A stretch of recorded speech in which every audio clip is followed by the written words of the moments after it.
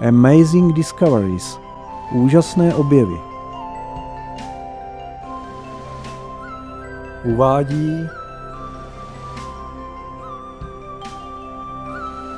Totální útok.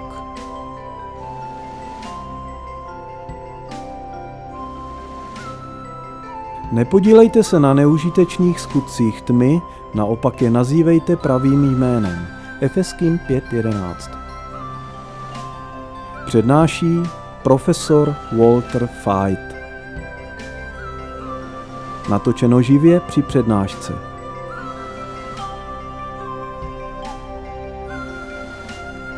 Jen prostý člověk?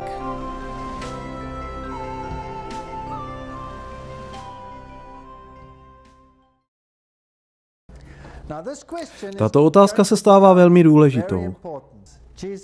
Ježíš Podvodník nebo mesiáš? To je velmi důležitá otázka, protože tento Ježíš tvrdí udivující fakta.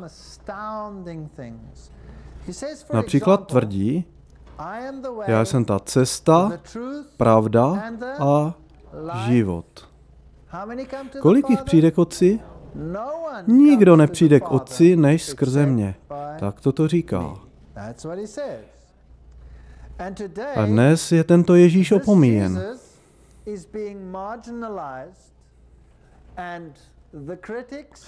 Kritici, obzvláště když se mluví o hnutí nazývaném Nová reforma, zasévají písmo a vytrhávají z jeho srdce právě spasitelskou část.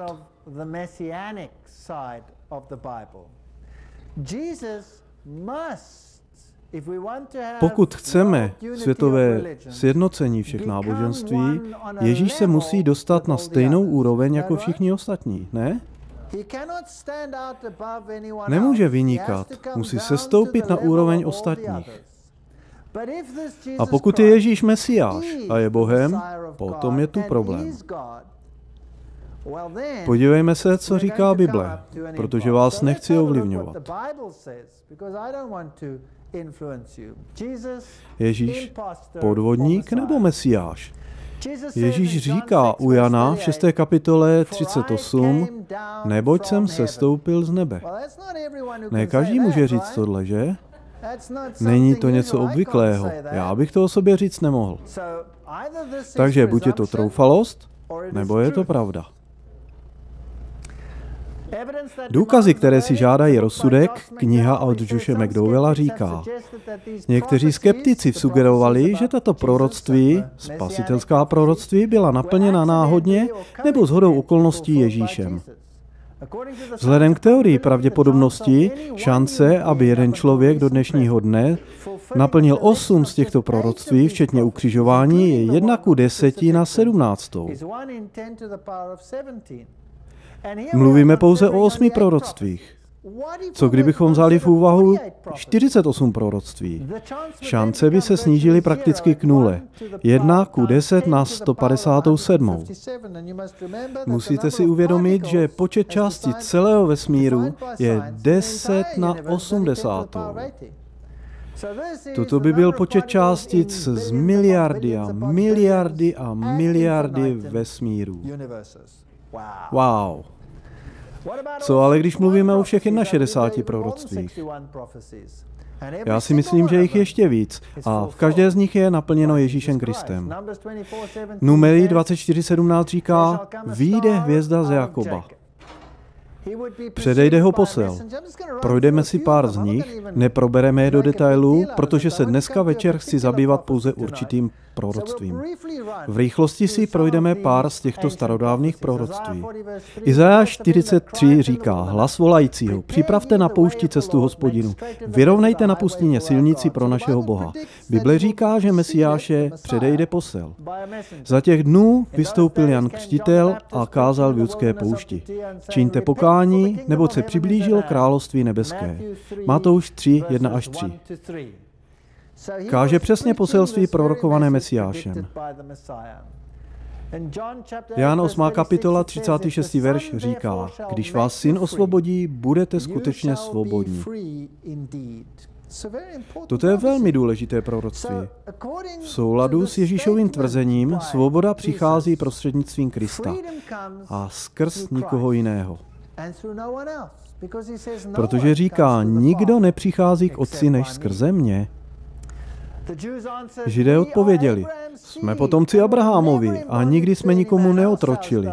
Jak může říkat, stanete se svobodnými? On mluvil o osvobození z otroctví jako o osvobození z hříchu. Ježíš řekl, moje království není z tohoto světa. Jan 18.36. To jsou fascinující tvrzení. Zázračné narození. Hle, pana počne a porodí syna a dá mu jméno Immanuel. To je Bůh s námi. Ne kde kdo, ale Bůh s námi. Řekněme si, nejmenoval se Immanuel, jmenoval se Ježíš. V pradávních časech se jméno odkazovalo na něco, co mělo určitý význam. Nebylo jména bez spojitosti. Immanuel znamená Bůh s námi. Joshua, přeloženo do řečtiny, Ježíš znamená Jahve spasitel. Bůh spasitel. Ježíš tvrdil, že je Bohem. Proto se nenachází na stejné úrovni s nikým z žádného náboženského systému. To byl Izáš 7.14. Anděl řekl, hle, počneš a porodíš syna a dáš mu jméno Ježíš. Což znamená to samé jako Immanuel, Jahve, zachránce je tady. Jinými slovy, Bůh je s námi. Lukáš 1, 28 až 31. Starý zákon říká, a ty, Betléme, z tebe mi vyjde ten, jenž bude vládcem v Izraeli. Micháš 5.2. A tento Betlém, Betlém Efratský, znamená koš na chleba. Chleba z nebe se stoupí, aby se narodil Betlémě. Víme, že i toto se naplnilo, když se Ježíš narodil v judském Betlémě v dobách Heroda a dostal jméno Joshua, Jahve Spasitel. Ježíš řekl, hospodin mě pomazal k tomu, abych nesl radostnou zvěst pokorným. To je také jedno proroctví ze starého zákona. Posláně ovázat srdce strápených, vyhlásit svobodu zajatým a propuštění spoutaným, vyhlásit hospodinovo léto milosti, potěšit všechny plačící. Izajáš 61, 1, 2. A ještě jedno další naplněné proroctví. Lukáš 4, 18, 19 nám říká přesně, co Ježíš o sobě tvrdil. Izajáš říká, že Mesiáš bude dělat zázraky. Tehdy se otevřou oči slepých a otevřou se uši hluchých, tehdy kůlavý poskočí jako jelen a jazyk němého bude plesat. A nový zákon Matouš Lukáš nám říká a uzdravoval každou nemoc a každou chorobu. Pozvednout truchlící na Sionu, dát jim olej, veselý místo truchlení, závoj chválí místo ducha bez naděje. Izáš 61.3. V žalmech čteme, že Mesiáš bude promlouvat v podobenstvích. Otevřu v podobenstvích ústa svá. Ježíš mluvil v podobenstvích. Bible předpověděla jeho slavný příchod. Zechariáš píše, hle přichází k tobě král, spravedlivý a zachráněný, pokořený jede na oslu. Všechna to jsou proroctví ze starého zákona. Také i ten, s ním jsem byl v přátelství, jemuž jsem důvěřoval a který jídal chléb můj, pozdvihl paty proti mně. Bude zrazen.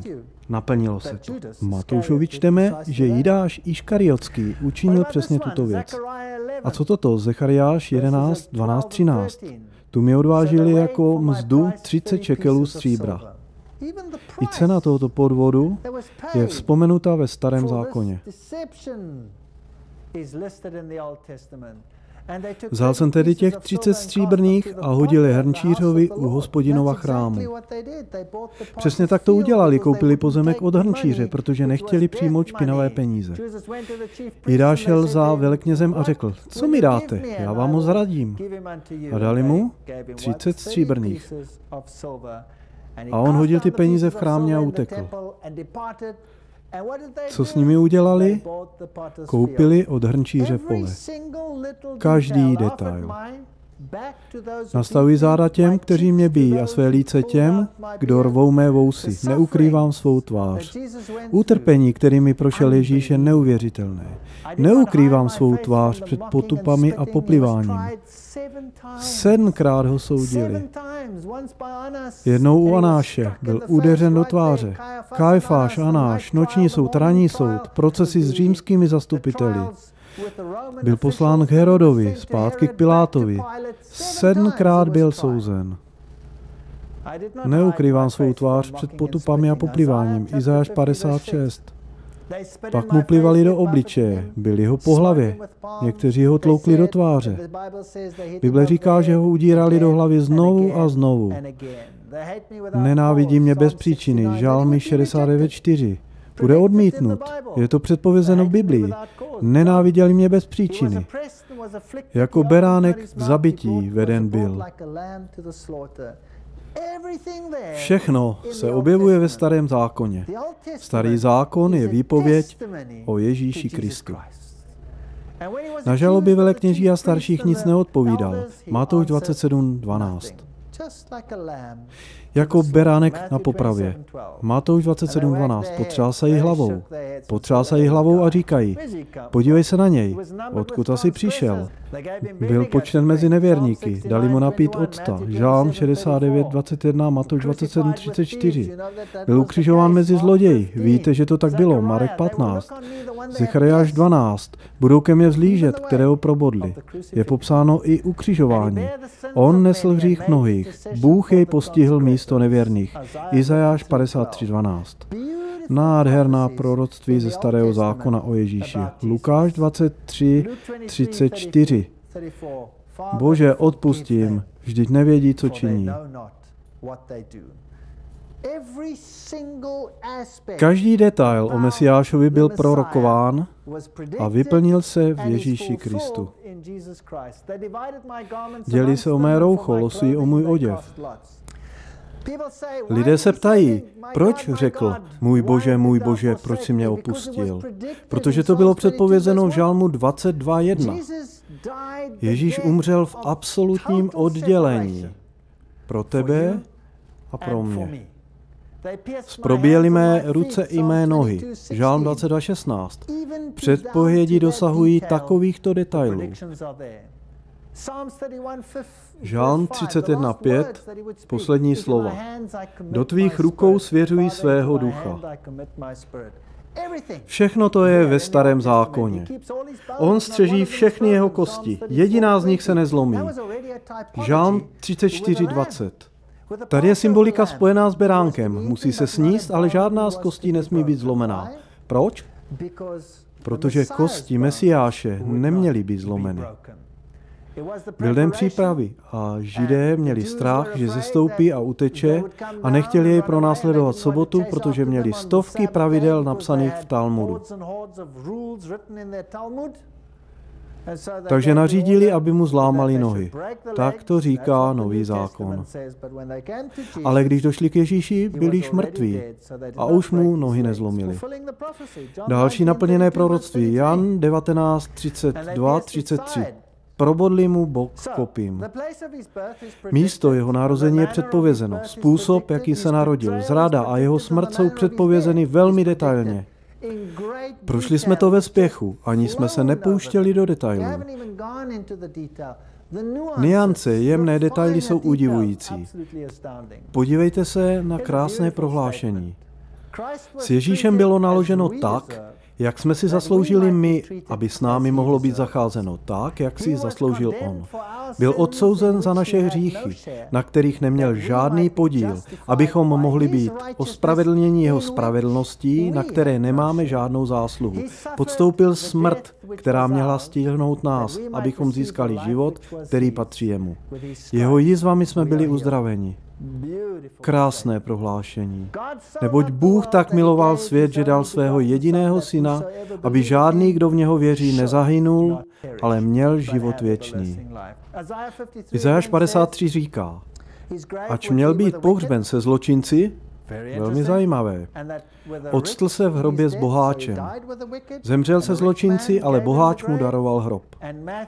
Matouš 27, 57 a 60 to potvrzuje. Způsob jeho smrti, jak byl pohřben, všechno se nachází ve starém zákoně. Někteří kritici namítli. Počkat, možná ani nebyl historickou postavou. Možná, že pisatelé Nového zákona si vše vymysleli, aby se zdálo, že Ježíš naplnil všechna proroctví. Doufám, že si uvědomujete, že písaři a farizeové nikdy proroctví nepochopili, protože jinak by ho akceptovali jako mesiáše, ne? Vystupuje se s pohádkou o tom, že všechno toto je podvod. Řeklo se, že osoby, jako je například Pilát, ani nejsou historickými postavami. Mám pro ně oznámení, protože hle, deska, která byla objevena, nachází se v jednom izraelském muzeu, na které jsou viditelná jména. Tiberius a Pontius Pilatus historické postavy. Podívejte se, co říkají historikové. Tacitus, římský historik, který žil kolem roku 115 po Kristu, mluví o Nerově pronásledování křesťanů od roku 46 po Kristu, říká. Kristus, po kterém se pojmenovali, byl popraven rukou prokurátora Pontia Piláta za doby vlády Tiberia.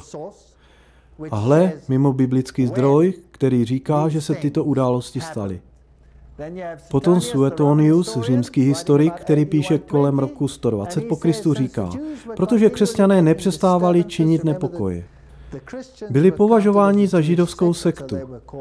Činit nepokoje podněcovány Kristem, on, Claudius, je vyhnal z Říma. Talmud, židovská tradice, říká, v předvečer Velikonoc pověsili Ješua z Nazaretu. Všechno to jsou zdroje mimo písmo, které potvrzují tuto věc. Ježíš Kristus byl vždy ve středu. Mesiáš byl vždy ve středu izraelského náboženství. Pokud se podíváme na svatyni, která měla být postavena, každý prvek, každá činnost v ní odkazovali na Krista. Krásná historie plánu spasení je zahrnuta v oběti beránka, jež symbolizuje beránka, který na sebe měl vzít hříchy lidstva. Když se podíváte dále do svatyně, nachází se tam nádrž s vodou, kde jsi byl očištěn od důsledků svých činů prostřednictvím vyznání hříchů. Ježíš Kristus, světlo světa. Ježíš Kristus, chléb života. Ježíš Kristus, prostředník. Ježíš Kristus, milost. Všechno je přítomno. Je to úžasný příběh. Ale teď nemáme čas. Dokonce i symbolika velekněze. Velekněz symbolizoval Ježíše Krista a byl před obrazem.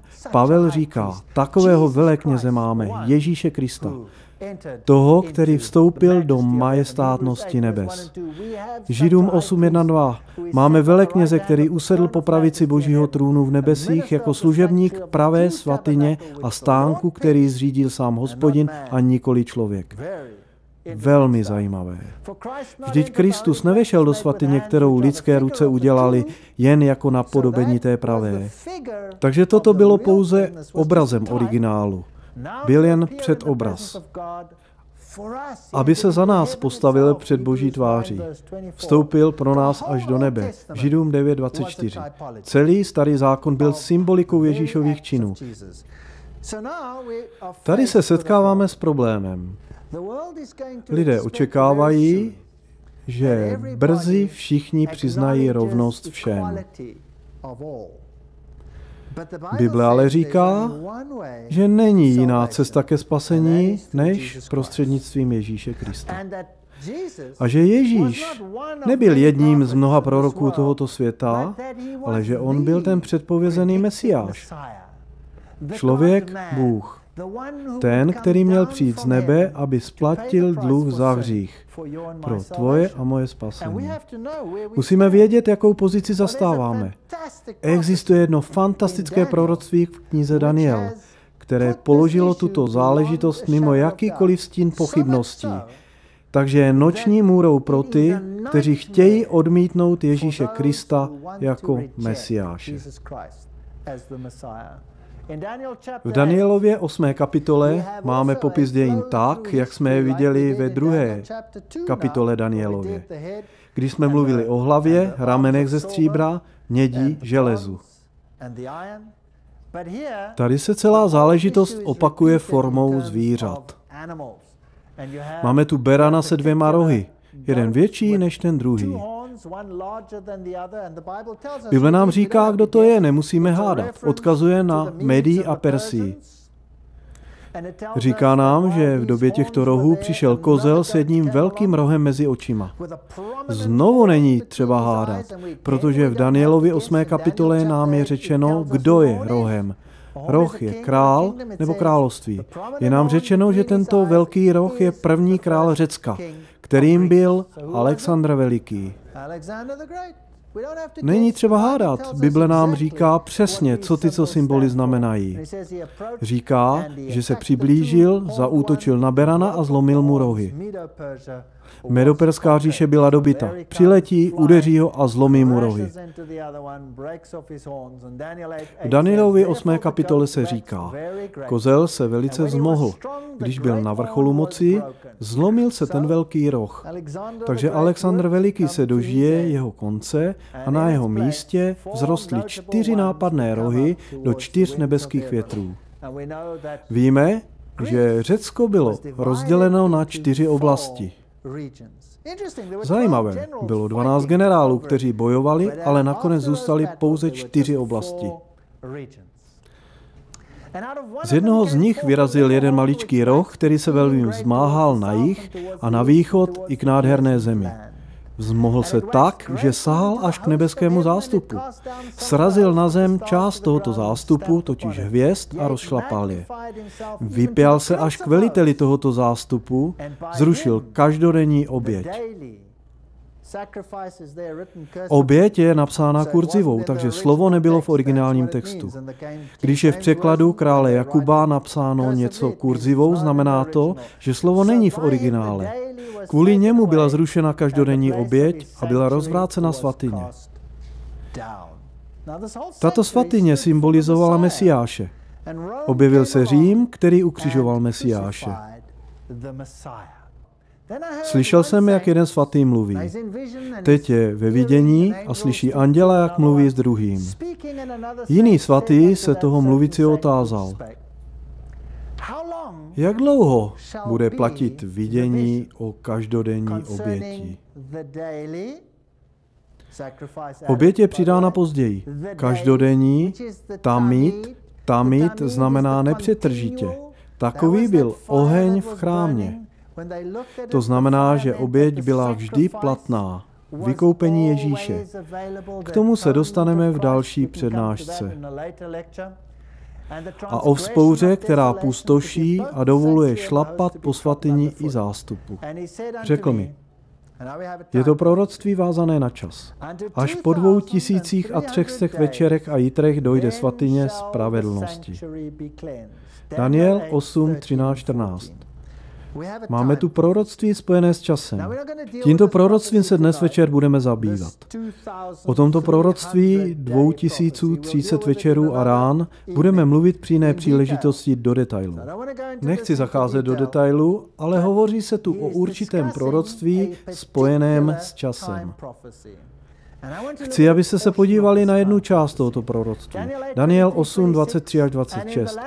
Ke konci jejich králování povstane král nestoudný, který bude rozumět hádankám, postaví se proti veliteli velitelů, avšak bude zlomen bez zásahu ruky. Znovu se objevuje bez zásahu ruky. Ohromující proroctví. Budeme se jim zabývat a uvidíme, kdo bude vládnout před příchodem Krista.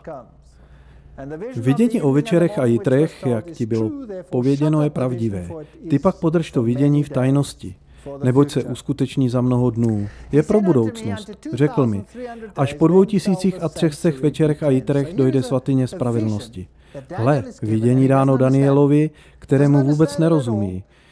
Je mu řečeno, nedělej si starosti, nemusíš mu rozumět, týká se daleké budoucnosti a bude odpečetěno v době posledních dní, ne teď. Budeme se tímto zabývat v této a v jedné z budoucích přednášek. Přemýšlí tedy o tomto proroctví. Nerozumí mu. Daniel 8.17. Přišel tedy tam, kde jsem stál. Zatímco přicházel, byl jsem ohromen a padl jsem tváří k zemi. Je tedy ve vidění a vidí nebeskou bytost. Padne tváří k zemi. Pochop lidský synu, že to vidění se týká doby konce. Takže vidění se týká budoucnosti, doby konce obsahuje tolik aspektů, které trápily Daniela. V Danielovi 9. kapitole počínaje veršem 20 máme vysvětlení jedné té části vidění.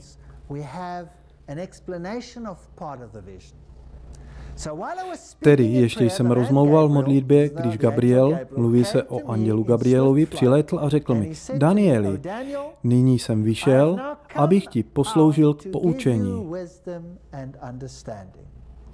Přišel jsem ti něco vysvětlit. I my chceme vědět, o co jde. Startujeme. Zapněte si pásy.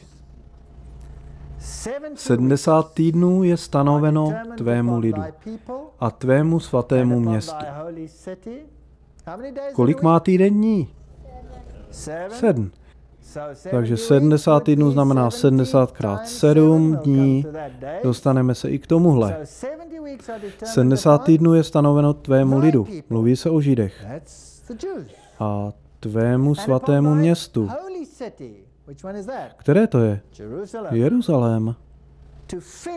Než bude skoncováno s nevěrností, než budou zapečetěny hříchy, než dojde k zproštění viny, k uvedení věčné spravedlnosti, k zapečetění vidění a proroctví, k pomazání svatého svatých, Daniel 9, 24.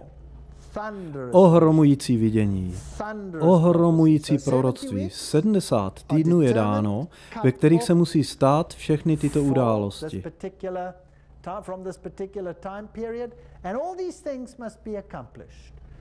Zapečetění hříchů, konec nevěrností, uvedení věčné spravedlnosti. Kdo to všechno vykonal? Kdo přináší věčnou spravedlnost? Kdo může skoncovat s hříchem? Pouze Ježíš. To je mesianické proroctví. Chci vám říct, že Židé jsou kvůli tomuto proroctví velmi rozněvaní. Poslyšte, toto je rabínské prokletí. Najdete ho v Talmudu, strana 978, odstavec 2, řádek 28. Chtěl bych vám ho přečíst. Nechť zhní a rozloží se kosti ruky a prstů toho, který otáčí strany knihy Daniela aby porozuměl době z Daniela 9. kapitoly 24. až 27. verše a jeho památka ať je navždy vymazána z povrchu zemského. Wow, tito pánové to berou vážně. Souhlasíte? Musím se vás na něco zeptat.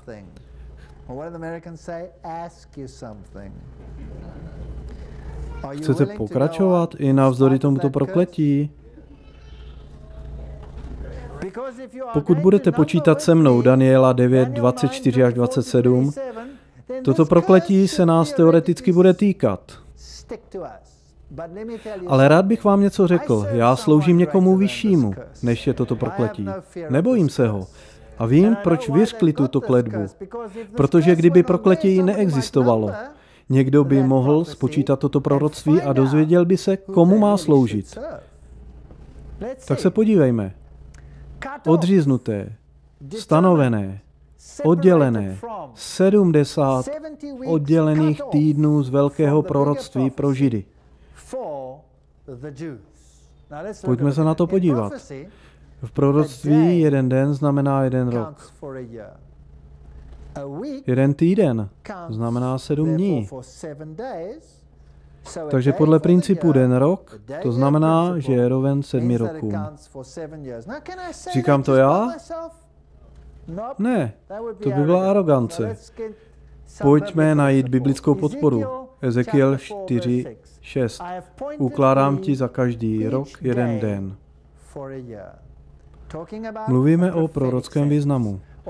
Numery 14.34. Podle počtu dnů, v nich jste dělali průzkum země, za každý den jeden rok, za 40 dnů 40 let. Vždy získáme důkaz až po vyzkoušení.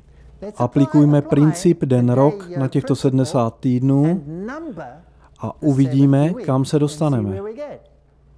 70 týdnů let je stanoveno tvému lidu.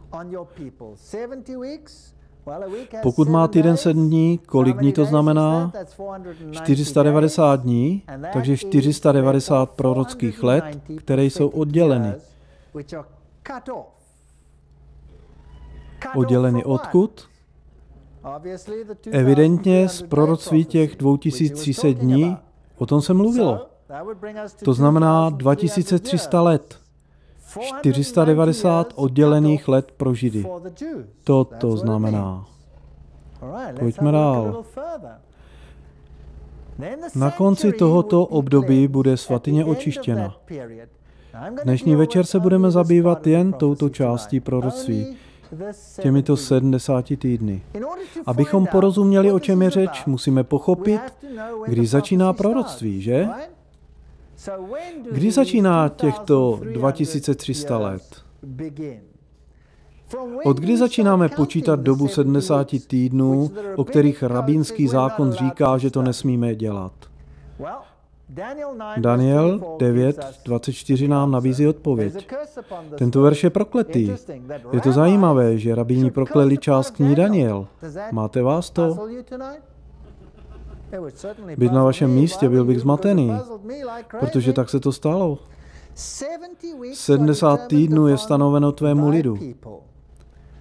Věz a pochop. Od slova o navrácení a vybudování Jeruzaléma. Až do kdy? Až k pomazanému vévodovi. Od vydání nařízení na rekonstrukci Jeruzaléma, pamatujte si, že Daniel je v zajetí, Jeruzalém je zničen a teď je mu řečeno, že bude 70 týdnů. Kdy začínáme počítat? Od výjití slova o navrácení a vybudování Jeruzaléma až k pomazanému vévodovi uplyne sedm týdnů.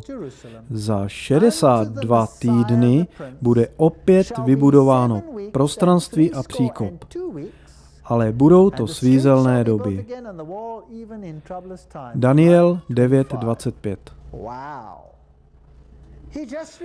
Právě dostal mesianické proroctví, které přesně řeklo Danielovi, kdy měl Mesiáš přijít.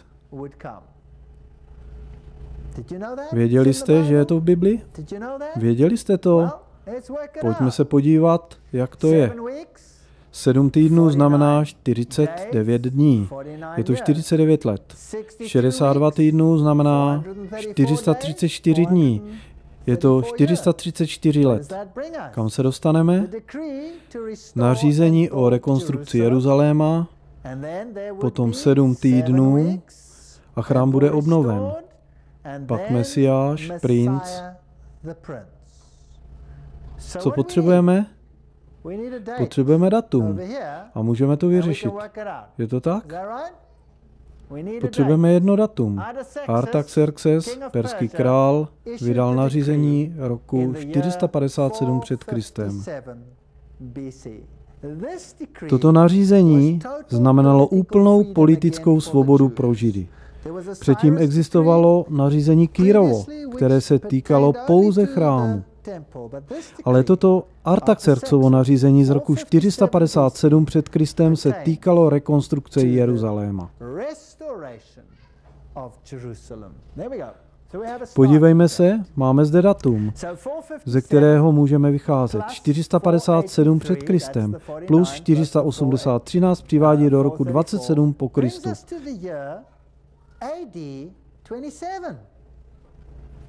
Co se stalo roku 27 po Kristu? 69 týdnů rovná se 483 let. Pamatujete si? Za každý den jeden rok. Podívejme se na nařízení. Ezra 7, 12, 13. Artaxerxes, král králů, knězi Ezrášovi, znalci zákona, Boha nebes. Vydal jsem rozkaz, že každý z izraelského lidu, kdo touží do Jeruzaléma, může jít s tebou. To bylo nařízení. Já, král Artaxerxes, jsem vydal rozkaz pro všechny strážce pokladů za Eufratí. Všechno, oč vás požádá kněz Ezráš, znalec zákona Boha nebes, ať je svědomitě vykonáno. Ezra 7.21. Byly nalezeny tabulky, které potvrzovaly rok 457 před Kristem, takže neexistuje žádný stín pochybnosti, nejsou argumenty proti tomuto datu. Našlo se to napsáno na kameni. 457 před Kristem plus 490 let, proroctví má 2300 let. Věz a pochop. Odvítí slova o navrácení a vybudování Jeruzaléma až k pomazanému vévodovi uplyne 7 týdnů, potom 62 týdnů. Kolik je 7 plus 62? 69 týdnů. Celé proroctví odpovídá kolika týdnům? 70. Takže nás bývá ještě jeden týden. Proroctví říká, že Mesiáš, což je pomazaný, přijde za 69 týdnů. A to nás přivádí k jakému roku? 27 našeho letopočtu. Nařízení bylo vydáno roku 457 před Kristem, 69 krát 7 rovná se 483 dní od obnovení až k Mesiášovi. Takže 27 let po Kristu Mesiáš. Kolik bylo Ježíšovi let, když začal svoji mesiášskou službu? 30 let. Proč tedy 27 let po Kristu? Máme tady problém. 30 a 27 moc se nezhodují. Nahlédněme do jakékoliv encyklopedie, třeba i do dětské.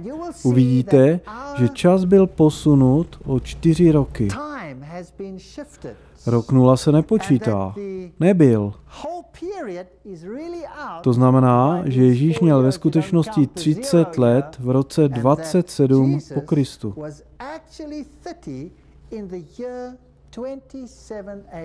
Slovo Mesiáš znamená pomazaný. Kdy byl Ježíš pomazán? Stalo se to při jeho křtu. V 15. roce vlády Tiberia, to je citát z písma, když se všechen lid nechával křtít a když byl pokřtěn Ježíš a modlil se, otevřelo se nebe. Lukáš 3, 1, 21. Tento rok Tiberiovy vlády byl 27. rok po Kristu. A teď? Kolik mesiášů může existovat? Pouze jeden. Pouze jeden, který naplnil každé proroctví. Rok 15. Tiberiovy vlády byl 27. po Kristu a Ježíš byl pomazán duchem svatým přesně včas. Dokážete si představit, proč Talmud říká, proklet buď ten, kdo počítá těch 70 týdnů, protože judaismus by skončil. Kdyby přijali, co řekl Daniel, judaismus by skončil. A Duch Svatý se stoupil na něj v tělesné podobě jako holubice a z nebe se ozval hlas. Ty jsi můj milovaný syn, tebe jsem si vyvolil. Poslyšte, co je řečeno v Marku 1.15. Ježíš hned, jak byl pomazán, byl rok 27 po Kristu, on řekl, naplnil se čas a přiblížilo se království Boží. Čiňte pokání a věřte evangeliu. Marek 1.15. Jaký čas se naplnil? Jaký čas? Jan 1.29. Hle beránek boží, který snímá hřích světa. Ten pomazaný Mesiáš, byl to on? Bůh obdařil Ježíše z Nazareta duchem svatým a mocí. Skutky 10.38. Toto se stalo při jeho křtu. Takže datum příchodu Mesiáše, kdy měl být sejmut hřích světa, bylo přesně prorokováno v Bibli. Galackým 4.4 říká, když se naplnil stanovený čas, poslal Bůh svého syna. Jaké naplnění času? Existovalo proroctví, které se muselo naplnit a pouze Ježíš jej naplnil. Nikdo jiný. Chci to říct přímo. Nikdo jiný. Ani Shiva, ani Brahma, ani Višnu, ani Buddha, ani Mohamed. Nikdo. Jen Ježíš to naplnil. Nikdo jiný. Takže existuje pouze jeden biblický mesiáš a nikdo nepřichází k Otci než skrze něj. Měl jsem jednu přednášku v Německu a řekl jsem toto. Někdo z publika se postavil a řekl, ale to je arogance. Jak můžeš říct, že nikdo nepřichází k Otci než skrze Ježíše? To je arogance. Co uděláme se všemi ostatními? Řekl jsem mu, ano, máš pravdu. Vypadá to arrogantně. Říci, že nikdo to nemůže udělat, než skrze tuto osobu. Ale pokud ke mně někdo přijde a řekne mi, když sedím vedle své dcery, jsi otec tohoto dítěte? Ano, jsem otec tohoto dítěte. A on říká, hej, ze všech miliard lidí na světě ty jsi jeho otec? To je arogance.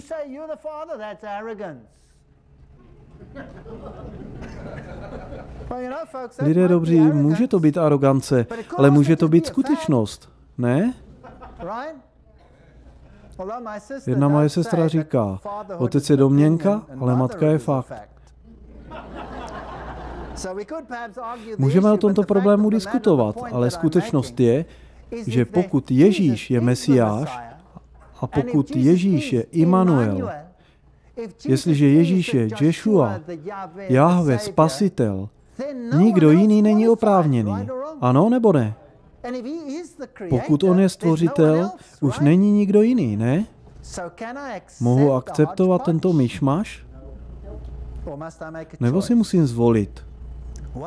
Pokud se po mně žádá, abych se klaněl před jiným? Mám zajímavé zprávy. V mojí zemi, v Jižní Africe, vznikají nové zákony a nové programy. Ty se budou rozšířovat do celého světa. Celý svět je přijme. V našem školním systému existuje něco nazvané Školní osnova 2005, která tvrdí, že do budoucna musí být naše děti vzdělávány ve všech náboženstvích.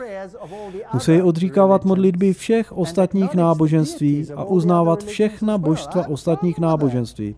Já s tím mám problém. Za nedlouho bude možná existovat takové omezení a já budu muset říkat. Je mi to líto. Já s něčím takovým nemohu souhlasit. Když se však naplnil stanovený čas, poslal Bůh svého syna. Galackým 4.4. Co se děje v 70. týdnu? Existuje mnoho názorů na toto proroctví. Někteří vezmou 70. týden a pošlou ho někam do budoucnosti. A říkají, toto patří Antikristovi. Počkat, že 70. týden patřil Židům, aby došlo k sproštění viny, uvedení věčné spravedlnosti. Celé proroctví je mesianické. Po 62 týdnech Mesiáš bude, jak je řečeno, zahlazen, ale ne pro sebe. Co to znamená? Zemře, ale ne pro sebe. Pro koho? Pro nás. Začíná to být zajímavé. Velmi zajímavé. Město uvrhne do skázy litvé vody, který přijde. Máme tady hezký chiasmus, který hovoří o dvou pracujících velmocích. Mesiáš, vládce a jiná, která přichází, aby zničila město. Kdo to je? Řím. Řím přišel a zničil město 70 let po Kristu. Takže Mesiáš bude zahlazen, ale ne pro sebe. Město a svatyni uvrhne do skázy litvé vody, který přijde. Sám skončí v povodní, ale až dokonce bude válka, je rozhodnuto o spustošení. Daniel 9.26. Vnutí svou smlouvu mnohým v jednom týdnu. Mesiáš, druhý vládce, potom znovu Mesiáš.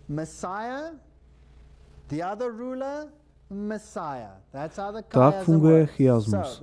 Takže Mesiáš vnutí svou smlouvu mnohým v jednom týdnu.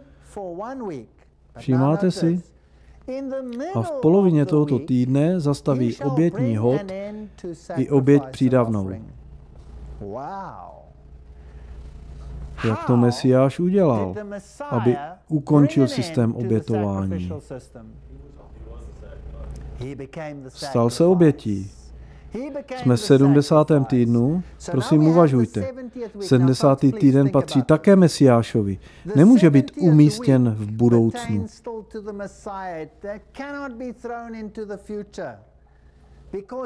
Protože ve středu tohoto týdne, mimochodem polovina sedmi je, jak dlouho byl Ježíš aktivní po jeho pomazání? Tři a půl roku. A uprostřed tohoto týdne byl zahlazen pro tebe a pro mě a ukončil obětní systém, protože on se stal božím beránkem, který sněl hřích světa. Je to tak? Jedině on může naplnit toto proroctví. Mohu ho tedy umístit do budoucnosti, nebo se nachází v době Kristově? Patří době Kristově. Zastaví obětní hod i přídavnou oběť. Zbyl ještě jeden prorocký týden, neboli sedm reálných let. Kolik je polovina sedmi? Tři a půl. Tři a půl roku od podzimu roku 27 po Kristu nás dovede k jaru 31 našeho letopočtu. Máme rok 27, potom tři a půl roku. A judaistický obětní systém, pro který existoval chrám, dosahuje konce. Mesiáš bude zahlazen, ale ne pro sebe fenomenální. Toto staré proroctví poukazuje na Ježíše no a na nikoho jiného k rozhorčení většiny náboženských vůdců dnešního světa. V 70. týdnu roku 31 po Kristu Ježíš umírá, ale zbývá ještě tři a půl roku. 70 týdnů je určeno pro Židy. Co se stalo roku 34 po Kristu? Chci vám něco říct. Ježíš řekl svým židovským učedníkům, jděte nejprve ke ztraceným ovcím z lidu izraelského. Jděte nejprve ke ztraceným dětem z lidu izraelského. Neodmítli je ani po jeho smrti. A působili mezi Židy, ale roku 34 po Kristu se něco stalo.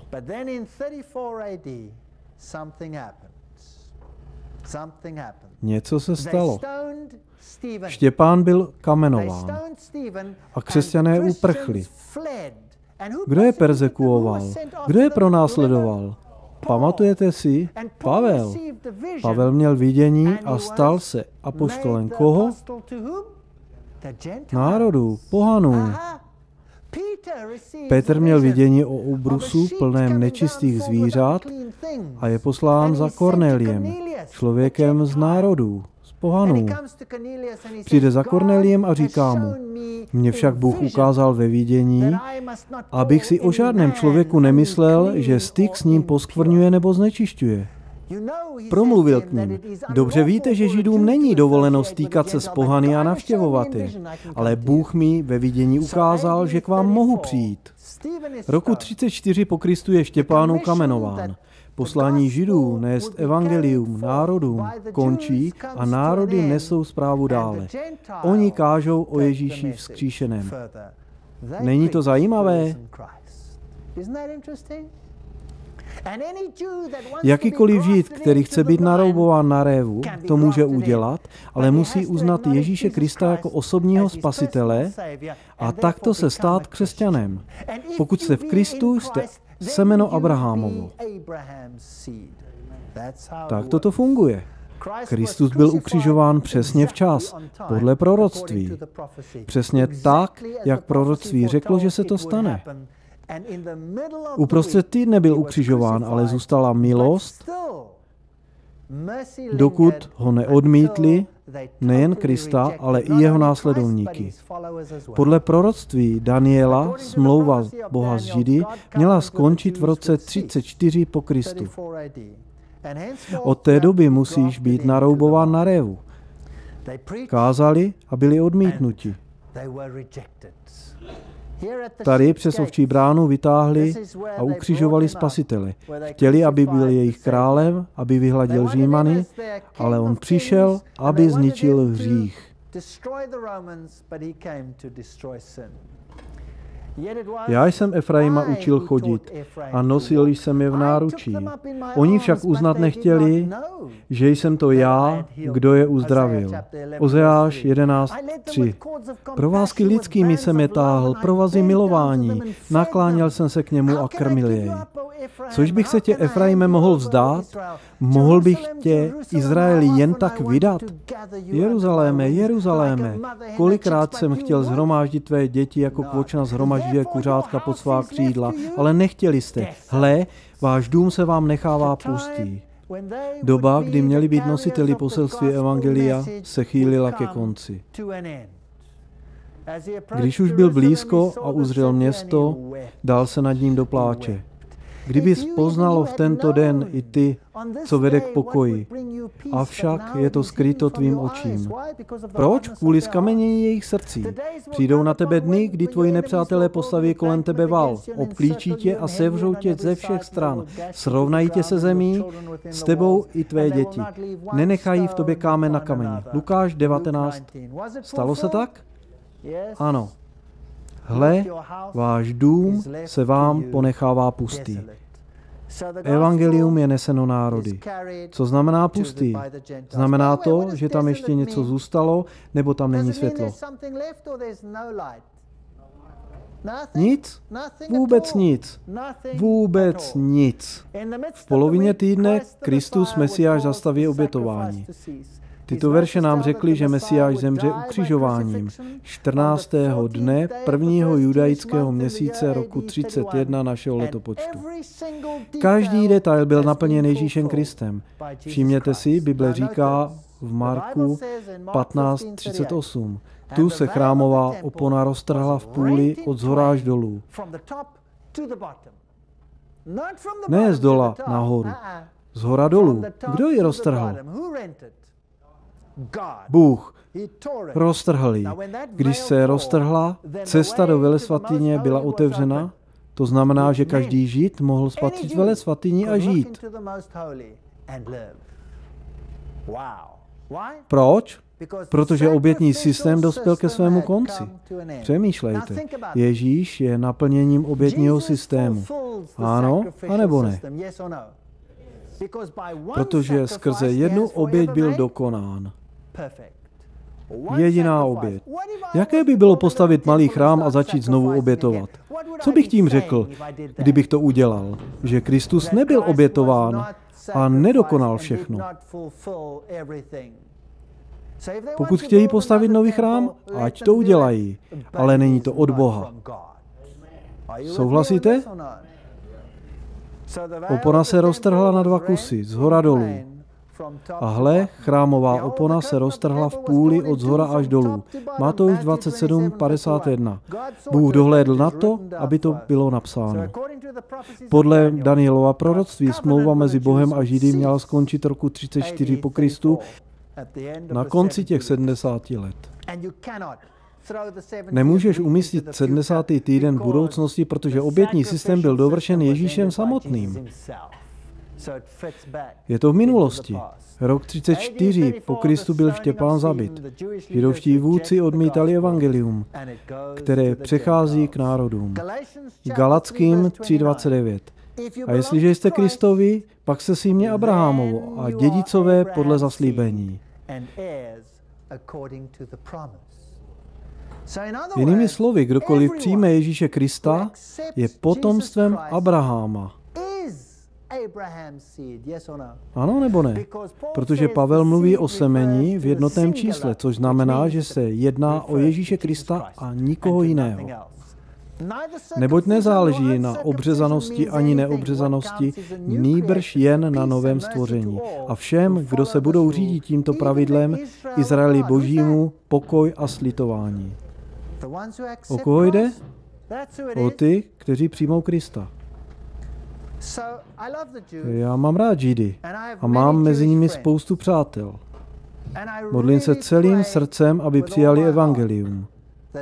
Doufám, že je zde tento večer přítomno mnoho Židů. Nemám proti ním nic, jen diskutuji o proroctví. Proroctví, která poukazují na Ježíše Krista. Až po dvou tisících a třech sech večerech a jitrech dojde svatyně spravedlnosti.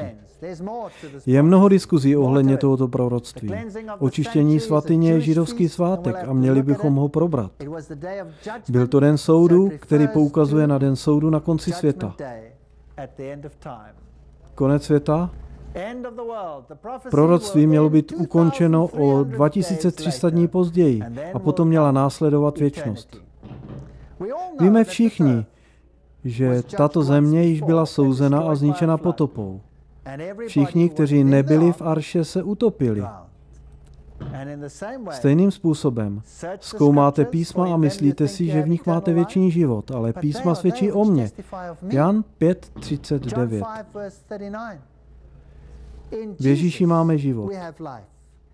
V Ježíši jsme spaseni. V Ježíši můžeme kráčet ke království skrze nikoho jiného.